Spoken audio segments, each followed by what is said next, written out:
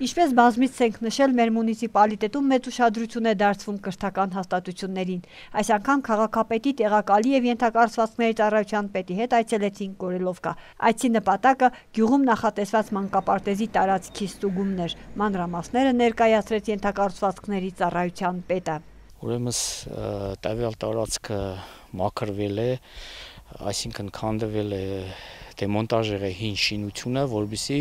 հետագայում այս տարածքի վրա կառուցվի գյուղի պահանջով մանկապարտեզ։ Գյուղացիների պահանջով տվյալ տարածքում կառուցվել է նոր մանկապարտեզ։ Մեր նպատակն է այսօրվա այցի քանի որ անած ծերներեց որը որ տենդերը շահ է տարածքը մաքրելու համար ինքը իրեն դիմումով համաձայն դիմումի վերջացրել աշխատանքները մեր նպատակն է ստուգել աշել իրոք թե